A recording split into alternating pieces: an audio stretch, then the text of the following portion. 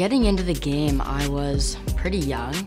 My mom was born in Jamaica, came to Canada when she was roughly about, I think, eight or nine.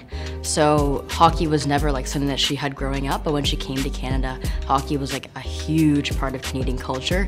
So naturally she wanted to put her kids into it, and she actually put my brother in it, who's two years older, and he liked it, but it was obvious he wasn't going to be the huge hockey player of the family, so one day he wasn't able to make one of his skates, and little five-year-old Dayton jumped on the ice. Dayton, I would say, immediately fell in love. The minute she saw the ice, the minute she saw the speed, it was an immediate love for the game. When I first started playing hockey, of course, like I love the sport, I love the speed, and I also love the challenge that hockey offered. I was fast, my nickname was Speedy growing up because I was a, a runner, a cross-country runner.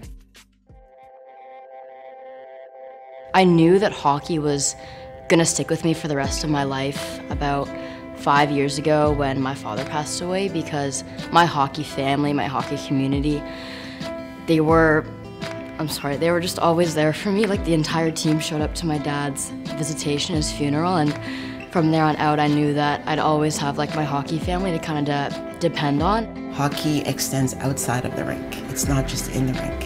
His passing has uh, a huge impact in her life. Hockey definitely helped her go on and continue and to cope. So I have a, a neighbor about two doors down who has three like little grandkids. I've been teaching them and, you know, learn how to raise a puck.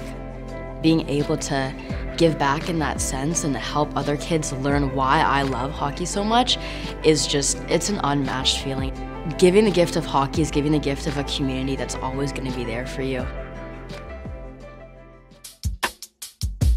Sometimes it, it is obvious and I, I am reminded, whether it's intentional or not, that I am different and that the sport wasn't exactly designed for me. Like I've heard guys on the ice saying like, oh, like she's only fast because she's black. And I'm like, it's, it's, there's so much more to me than just like being black. And I put in hours and hours and days and weeks and years to be where I'm at right now.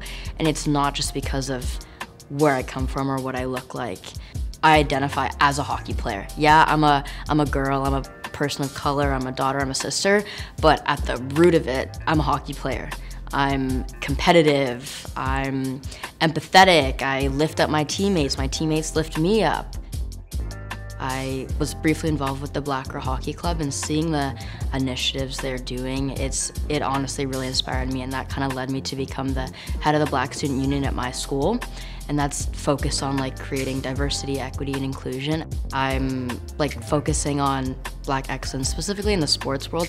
I feel like representation or the lack of is hurting the young black hockey players who want to grow up and be successful. Because growing up, frankly, I've never had another black teammate.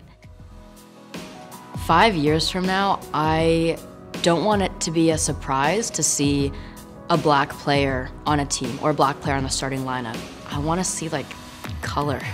I, I want to see more color and I want to see more representation and I want the women's game to be further than it is right now, to be closer to that NHL level.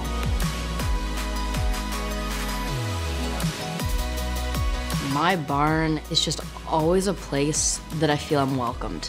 Somewhere that I can always just be my authentic me. I can, I can be unapologetically myself.